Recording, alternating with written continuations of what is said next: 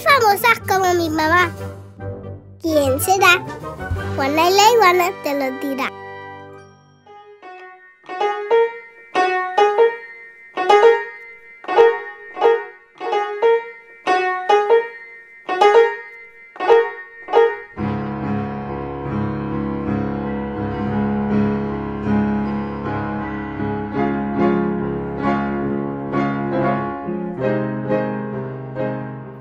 Fue una niña genio.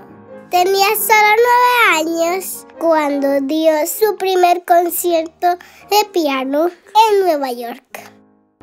Se fue de Venezuela muy joven porque en todas partes del mundo la querían escuchar tocando piano.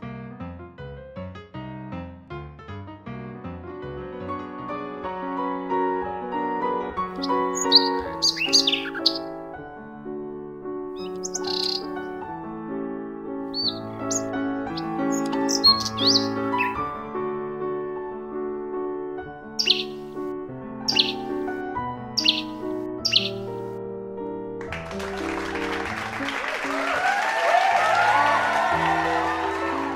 podemos ser genios.